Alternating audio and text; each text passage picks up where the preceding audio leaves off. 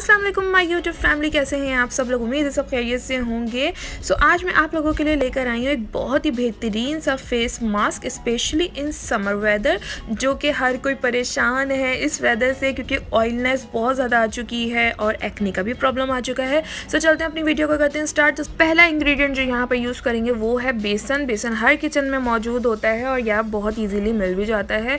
इसकी अगर मैं फ़वाद बताऊँ तो इसमें ऐसी प्रॉपर्टीज़ पाई जाती हैं जो कि आपकी एक्नी ट्रीट करने में काम आती हैं। दूसरी चीज़ जो हम ऐड करेंगे वो है मड मास्क अगर आपके पास मड मास्क अवेलेबल नहीं है तो आप मुल्तानी मिट्टी भी ऐड कर सकते हैं। दोनों का काम एक ही होता है, वो आपके फेस में से ऑयल को कंट्रोल करता है, जो कि एक बहुत ज़्यादा प्रॉब्लम होती है स्पेशली इन समर सीज़न तीसरी चीज़ हम यहाँ पर ऐड कर रहे हैं, वो है aloe vera gel easily market में अवेलेबल अगर आपके पास एलोवेरा जेल ये वाला नहीं मौजूद तो अगर आपके घर में एलोवेरा जेल लगा हुआ है मतलब एलोवेरा लगा हुआ है तो उसका जेल निकाल के भी आप यूज़ कर सकते हैं। यहाँ पर चौथी चीज़ जो हम ऐड कर रहे हैं, वो है vitamin C plus rose water normally rose water भी अगर आपके पास मौजूद है तो आप वो भी ऐड कर सकते हैं. एलोवेरा एंड रोज़ वाटर को इस वजह से ऐड किया जा रहा है ताकि इसके अंदर सूटनेस रहे. अगर आपकी कोई भी प्रॉब्लम होती है, अगर आपकी स्किन उसको एक्सेप्ट नहीं करती है तो रोज़ वाटर और एलोवेरा जेल से उसमें सूटिंगनेस आ सके और कोई भी रिएक्शन होने से बच सके. सो गैस यहाँ पर अब हम अपना मास्क बनाना स्टार्ट कर रहे हैं. यहाँ पर हम लोगों ने लिया लिया है बेसन वन टेबल स्पून इसके बाद यहाँ पर हम वन टेबल स्पून ऐड कर रहे हैं मड मास्क अगर नहीं है तो मुल्तानी मिट्टी, जैसे पहले भी बताया है, आप ऐड कर दें।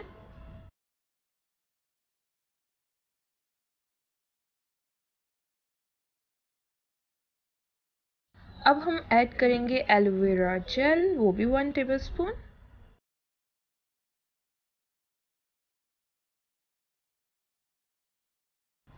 अब हम लोग इसमें ऐड कर देंगे vitamin C plus rose water हम लोग इतना ऐड करेंगे कि एक अच्छा सा पेस्ट बन सके, ना ज़्यादा थिन हो, ना ज़्यादा थिक हो।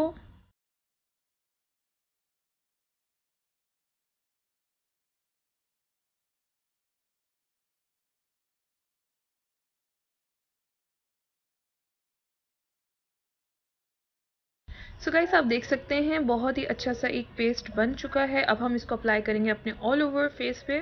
फ़िलहाल मैं यहाँ फेस शो नहीं कर रही हूँ तो मैं अपने हैंड पे ही आपको दिखाऊँगी। सबसे पहले आपने अपनी स्किन को कर लेना है अच्छे से क्लीन उसके बाद आपने अप्लाई करना है ऑल ओवर द फेस पे ये वाला मास्क अच्छी तरह।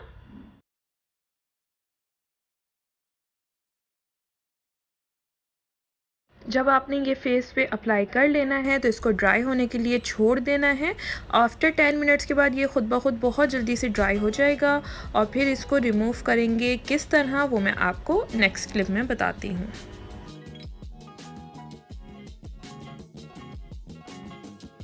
हमारा स्पेशल समर फेस पैक जो है वो ऑलमोस्ट ड्राई हो चुका है। अब मैं आपको बताती हूँ कि इसको किस तरीके से रिमूव करना है। हमारे पास जो था रोज़ वाटर हम वो लेंगे और इसको स्प्रे करेंगे ताकि थोड़ा सा ये वेट हो जाए। उसके बाद हम हल्के हाथ से इसकी स्क्रबिंग करेंगे ताकि डेड स्किन के साथ साथ जो हमारे एक्नी के मार्क्स वगैरह भी फेस पे मौजूद हैं, वो फेड आउट हो सके और हमारी बिल्कुल वाइट सी ग्लो सी स्किन हमें मिल सके। अच्छा यहाँ पर एक पॉइंट ये ऐड करूँगी कि अगर आपकी एक्टिव एक्नी है तो आपने बिल्कुल हल्के हाथ से स्क्रबिंग स्क्रबिंग करनी है, ज़ोर ज़ोर से नहीं करनी है। और इसके अलावा अगर आप जस्ट उसको रिमूव कर लें तो बेटर होगा क्योंकि एक्टिव एक्नी पे थोड़ा सा मुश्किल हो जाती है स्क्रबिंग करना। तो इसके बाद हम इस तरीके से इसको स्क्रब करेंगे और पूरे फेस मास्क को रिमूव करेंगे।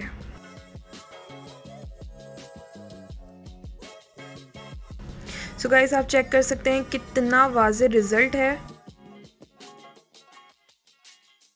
सो गाइस मानते हैं ना, ये है समर का बेस्ट बेस्ट फेस पैक जो कि आप लोग भी ज़रूर ट्राई करेंगे और मुझे लाजमी बताएँगे कमेंट सेक्शन में। अब मैं अपनी वीडियो को करती हूँ अख्ताम वज़ीर। लेकिन इससे पहले आपसे एक गुजारिश है कि अगर आपको ये वाली वीडियो पसंद आए तो प्लीज़ इसमें ज़रूर लाइक कीजिएगा कमेंट कीजिएगा, अपनी फैमिली एंड फ्रेंड्स के साथ भी ज़रूर शेयर कीजिएगा। मिलते हैं नेक्स्ट वीडियो में, तब तक मुझे दें इजाज़त। अल्लाह हाफ़